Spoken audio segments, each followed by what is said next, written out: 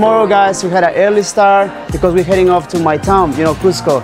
Cusco is the most beautiful town in Peru, that's for sure, right now. and then,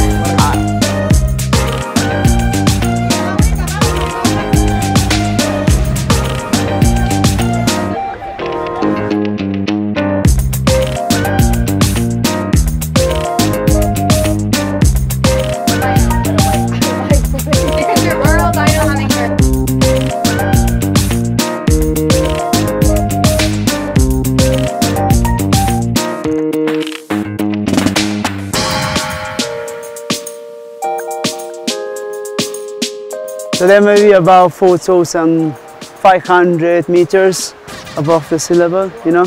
So welcome to the Andes.